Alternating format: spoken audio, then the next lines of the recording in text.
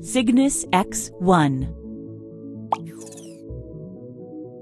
For the star to become a black hole at the end of its life, it should be three times larger than the Sun.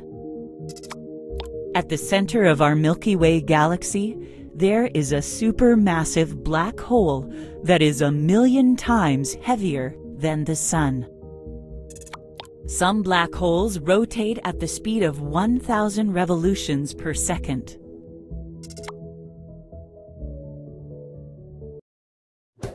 Have you ever thought of what happens to stars during their lives? All stars are born huge and very hot. As they live and die, they become smaller and cooler. At the end, a star becomes so tiny it is called a black hole because it sucks in all the energy around it. It works like a giant cosmic vacuum. It uses gravity to pull in anything around it, be it comets, asteroids, planets, or even rays of light. A black hole is so powerful, it can even change the flow of time. Time near a black hole is much slower than on Earth.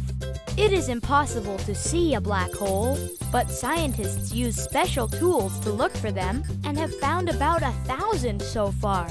One of them is next to a constellation called Cygnus and is called Cygnus X1.